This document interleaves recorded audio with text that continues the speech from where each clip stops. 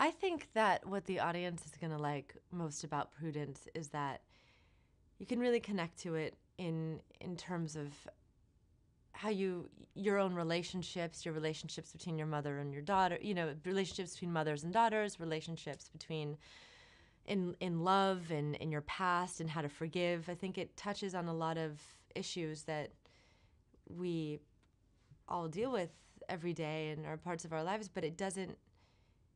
doesn't have to tell you that. It's funny and it comes from a funny place and i think that you can find a lot of humor in all the situations you deal with and i think it's a really nice way to connect to something is through humor that way and and it make you laugh and so i think that there's i think people can relate to it and i think that it'll make people laugh and and it's a very heartwarming story